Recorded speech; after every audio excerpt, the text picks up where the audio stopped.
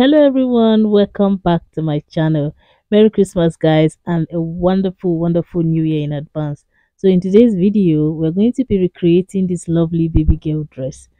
So here is my fabric I folded into two using the baby's hip measurement divided by 4 plus extra 8 inches.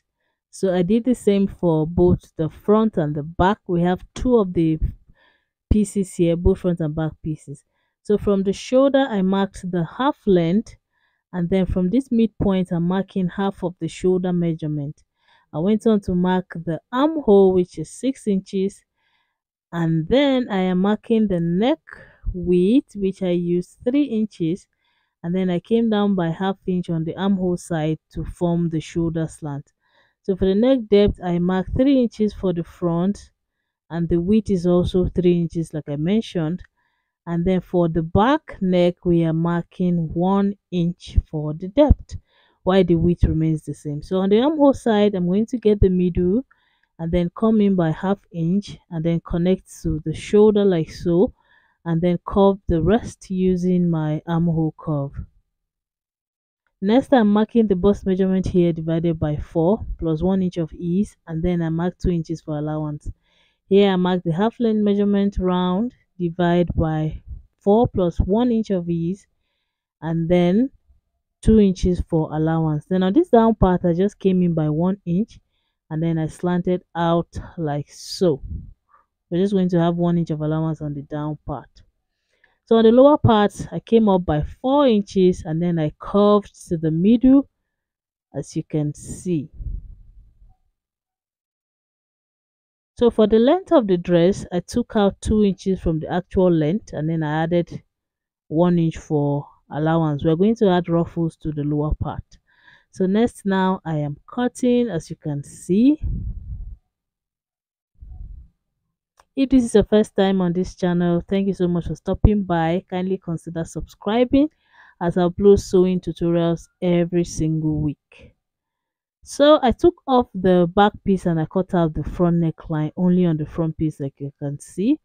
And then here is the pocket pieces. I measured 7 inches and then I just used my hand to go round making it not so big since it's for a child. And then I'm notching the half length point which is where the pocket is going to sit. Now I have this piece of fabric. It is three and a half inches wide and I made it as long as possible. This is what we will be using for the ruffles on the lower part the pleats on the lower the lower part sorry. So i'm going to be cutting as much as possible. I was working with two yards of fabric here so i had to manage whatever i have. So i placed it on this piece here now to get another set of three and a half inches of width. So next we're going to join all the pieces to form one long strip and then we're going to fold one end of it fold neatly. So next now we're going to cut lining pieces for both the front and the back as you can see. And then for the front piece i place the lining on the right side. We are going to go sew the neckline using half inch. For the back we are going to place the lining on the right side as well but then it's going to have an opening at the back which will be about seven inches deep to enable the neck pass through. So we're going to go sew half inch round and then sew down seven inches and then out in a v like that. For the pocket pieces we are going to go sew two together leaving half inch from the top. We'll sew round using half inch and then leave half inch again on this other end we're going to do the same for the second pocket piece. After sewing the piece this is what we have for the pocket with the extra half inch left open. And then for the back neck this is what we have. We're going to notch around the neckline and then cut through that v sewing. After that we'll turn to the right side and give it a good press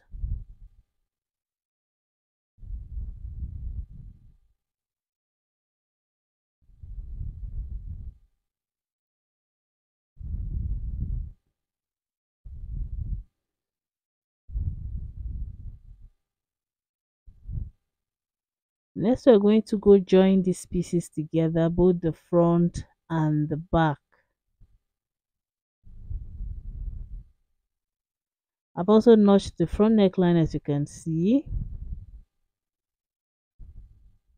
So depending on how big the head of the child is you can do less than 7 inches on the back but 7 should be fine for any child at all Next, we're going to go join the shoulders together, lining to lining, and then main fabric to main fabric. We'll sew using half inch. And then on the sides, we are going to mark the measurements again. So from the shoulder, from the shoulder, we're going to mark the half length. And then from the midpoint I just marked quarter of the bust up here plus one inch of ease and then the same for the opposite side. Then quarter of the half length round plus one inch of ease and then I connected. Then on the down part I just left out one inch for allowance so I just connected. Next I'm marking six inches down from the waistline. That is where our pocket is going to sit so from the waist point from the half length point we're going to count five six inches down and then make a mark. And then on the lower part as well i went in by one inch and connected to the waistline. So while joining we're going to back stitch where the half length is. So normally and then back stitch where that six inches point is as well. After sewing this is what we have.